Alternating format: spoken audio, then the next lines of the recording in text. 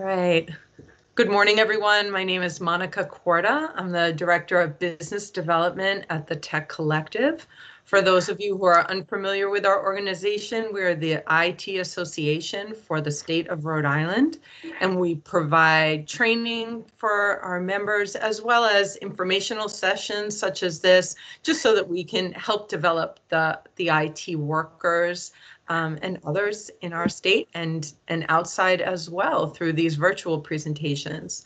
This morning, we're, we're pleased to have Nimota Garcia from OSHEAN um, present for us on the process and power of intent listening.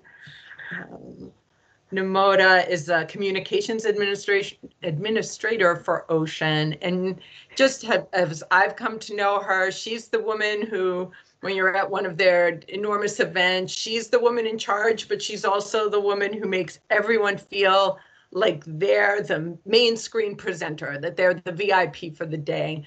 So we knew that she would have a lot to offer. And I think I wanted a little bit of her magic to find out how does she do that? How does she listen to others to really make it seem like they're that only person on the planet? And then I think she has a little bit of the ability to get what she needs to from other people.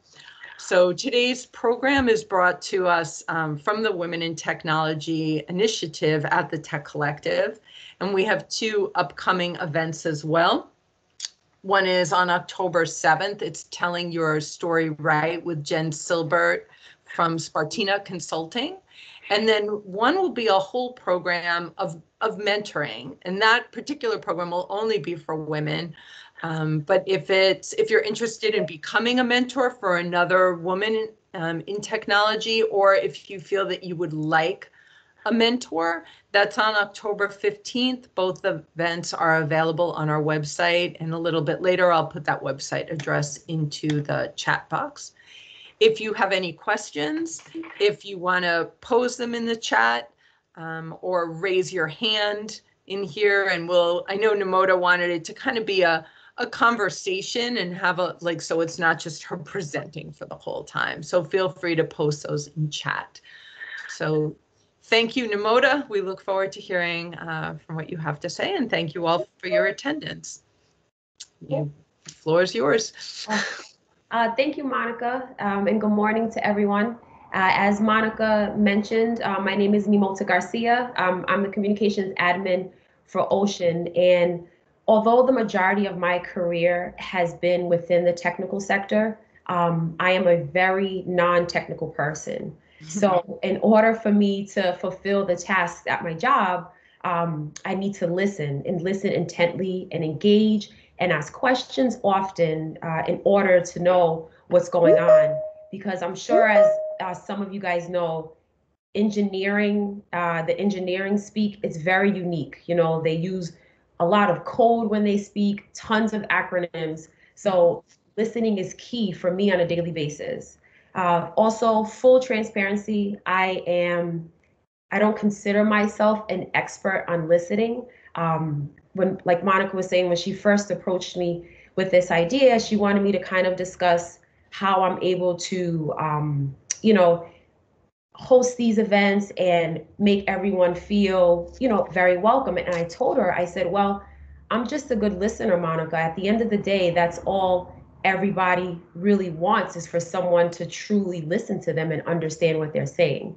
So um, these next few guide, these next few slides uh, will just be, you know, little guides and reminders to help us uh, be better listeners and communicators.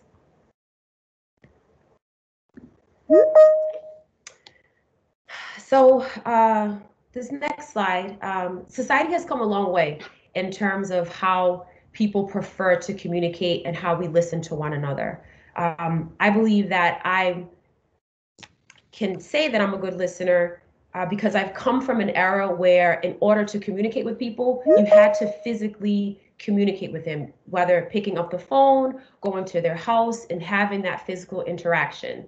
Whereas nowadays, people just prefer a simple text message. It's as if people shun the idea away of talking. Even if you say, um, yeah, you know, I gave you a call and I left you a voice message for what I needed, you know, people will say, oh, I don't even check my voicemail, you know, don't even bother. Uh, just just send me the text message with the information. It's as though people are just like, you know, this this I don't want to I don't want to talk.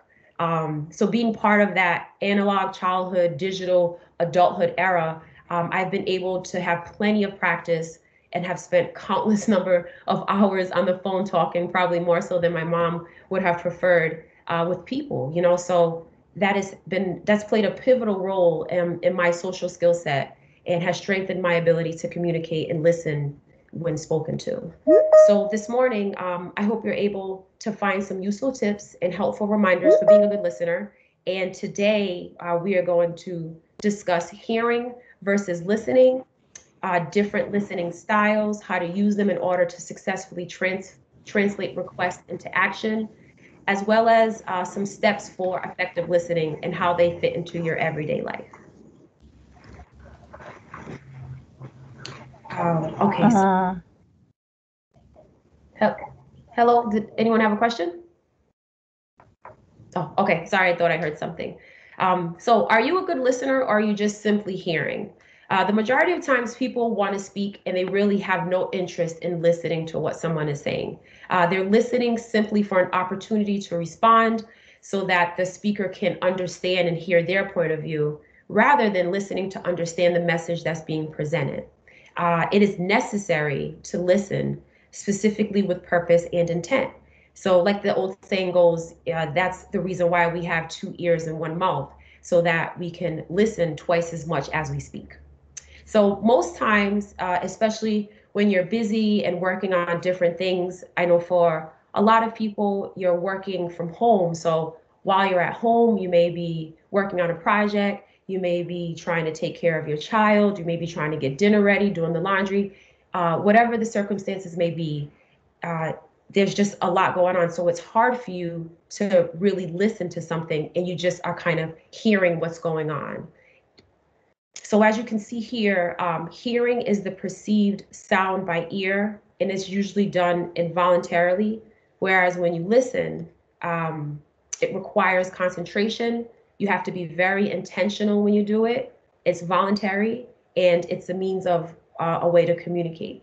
So I have found that um, when I really need to truly listen to what someone is sharing with me, I have to remove all distractions uh, and provide my undivided attention. And so I try to give eye contact. Um, it helps with my focus. I remove my cell phone. Uh, sometimes I have to set my daughter up in our living room uh, because you know she'll see the screen on and she'll want to come in and have a party.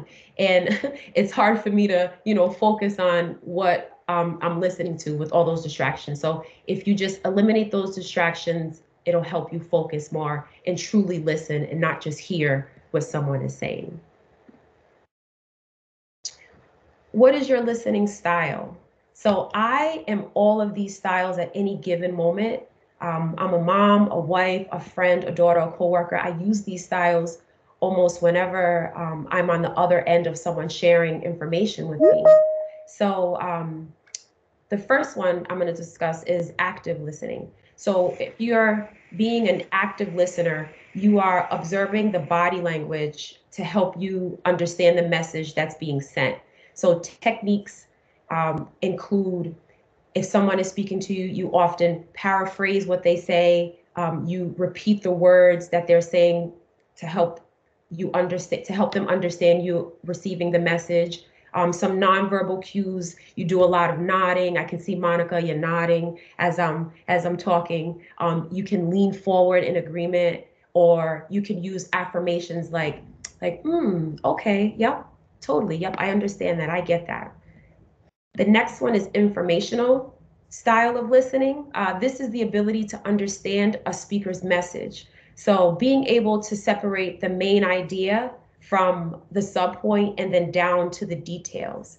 Um, if you think of a student, uh, they're in a classroom, they're observing all, absorbing all of this information, listening to learn whatever it is their instructor is teaching them. And with that knowledge, you know, in turn, they're expected to have discussions or be prepared for uh, tests and such.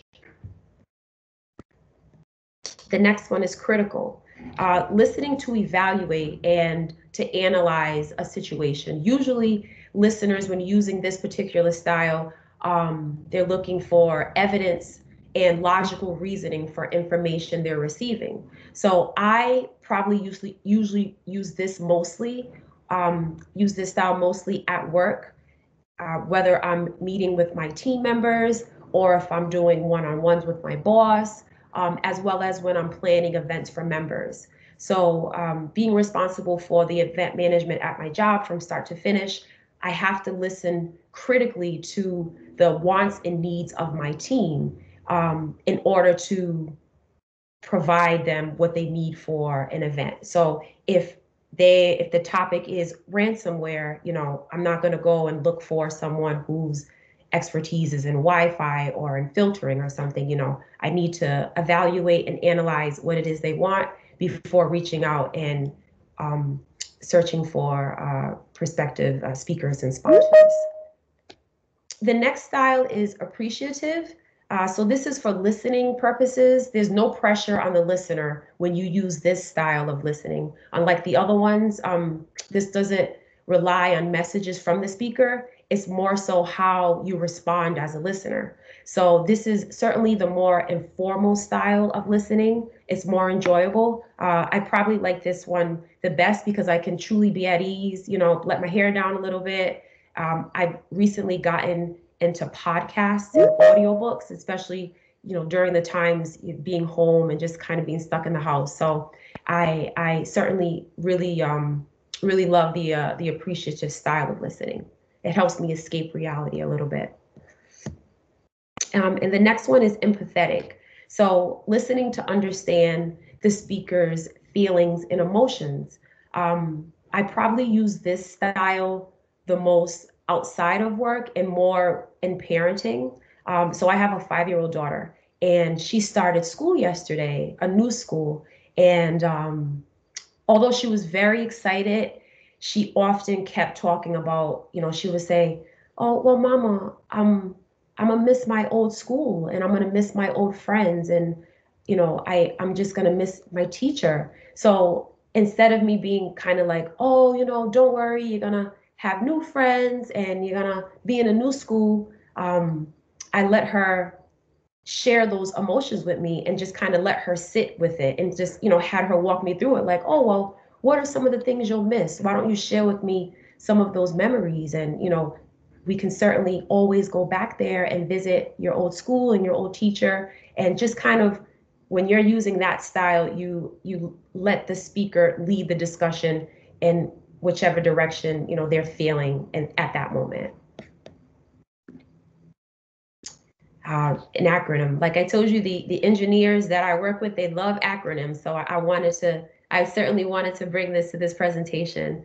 Uh, once you settle on the listening style that you're going to use at any given time, um, these are the steps for a more effective, uh, more effective way of engaging with the speaker. So uh, it's called RASA, receive, appreciate, summarize, and ask questions. So when you're receiving uh, what the speaker is saying, you're paying very close attention and you're focusing on the message they're trying to convey. Uh, some helpful tips is, like I mentioned before, using eye contact, uh, being focused, and eliminating all distractions. Uh, the next one is appreciate, being open minded, um, having a positive attitude and making it a non-judgmental zone. It's certainly very difficult when you are speaking to someone and they just kind of seem like they have, you know, a chip on their shoulder. And it's difficult as a speaker um, when you have an audience like that. You, you can't truly feel comfortable sharing messages when you kind when you have that when you have an audience like that so it's always good to be positive um, and just make it comfortable for the speaker. The next one is summarize, running a brief summary of the discussion, hitting points and areas uh, that were highlights for you. That also shows that you were in fact listening to what the speaker was sharing. And the next one is ask questions. Um, that's pretty self-explanatory.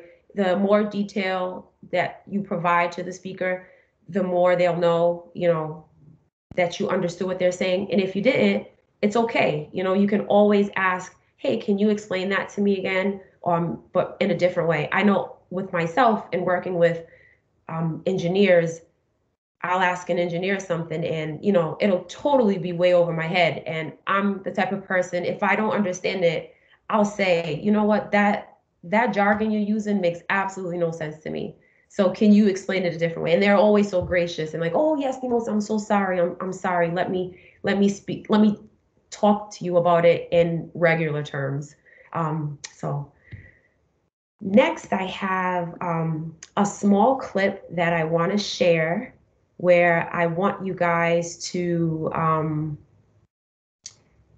uh, comment on what you see in the scene. So give me one second because this, uh, okay.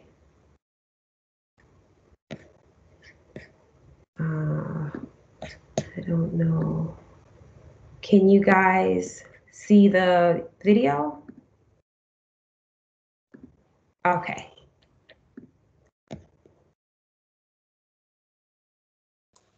Okay.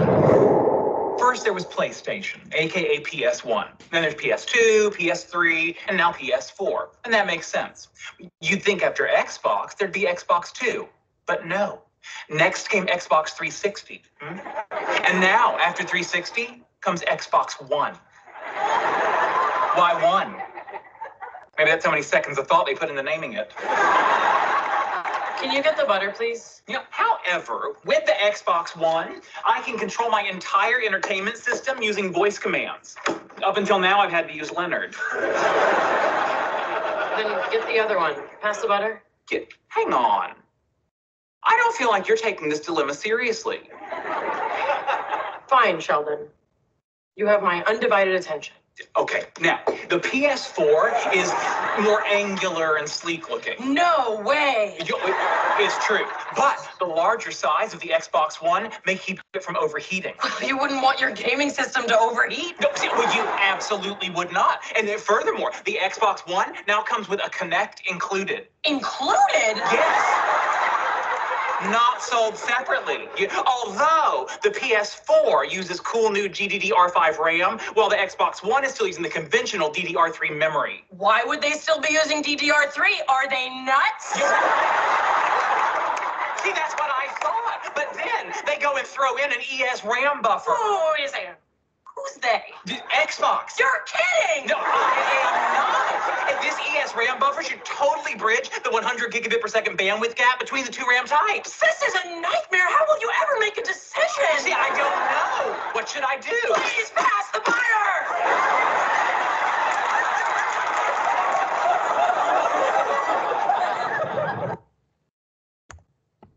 Okay. so that's exactly how it is um, at my office when the engineers are talking to me.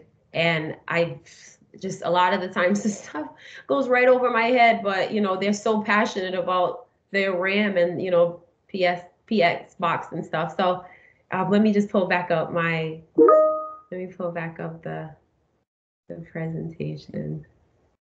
Okay. Okay. Can you guys see this? Yeah, yeah, we're on the, describe the speaker and listener in the scene. Yeah. Okay, so does anyone want to say, uh, share what they, what they noticed in that quick, quick scene? Describe. You can unmute yourself if you want to comment on that. I think it's probably more efficient um, than typing, but someone wrote in, both weren't really listening to the other. Yeah. Would anyone want to share what they think, um, what style of listening uh, Amy was exhibiting? I'll pull that slide back up so you can reference it.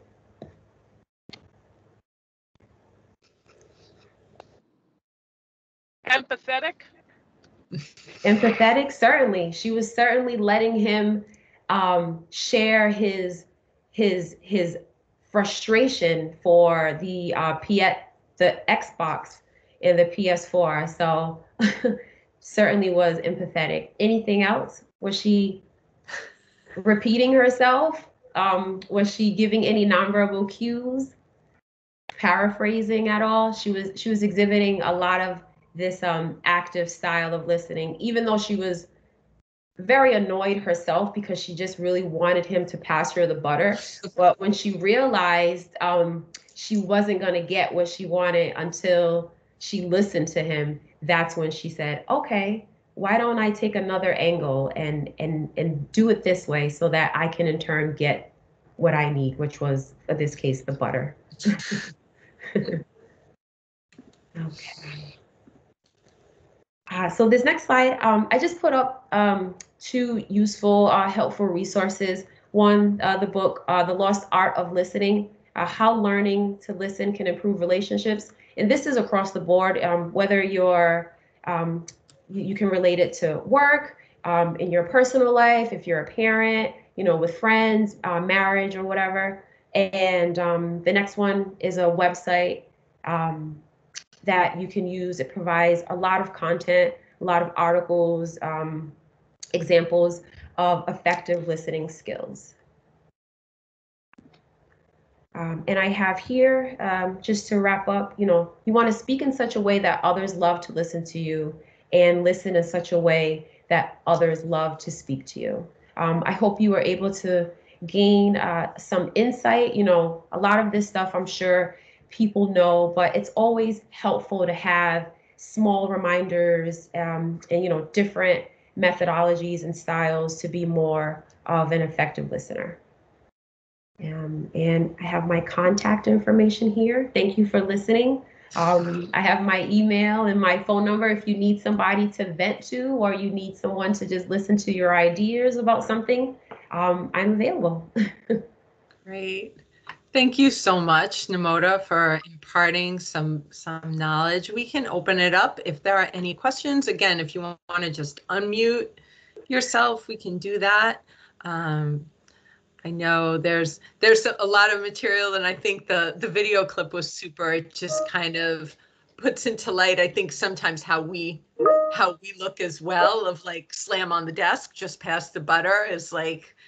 I'm sure we you, we all reach that of like just just give me what I need enough of this other piece I don't care about these details mm-hmm. you know hopefully we don't scare the listener as much as Sheldon looked a little bit petrified at Amy's response yeah no and I I think um you know with life it's just it's just especially now everyone is connecting and talking and listening to people virtually and it's it's very difficult you know I was just sharing with Monica before we started. Um, I was on a call recently and the topic was it was somewhat very serious and you know you could tell by everyone's body language you know people are focused and their intent and they're purposefully listening. But this one guy um, he was just hearing. He was not listening to anything at all. And it was very evident because he had a cleaning lady there and he was standing up and he was on the phone and you could see the woman cleaning and he's obviously doing something else. And we're all sitting there kind of mortified like man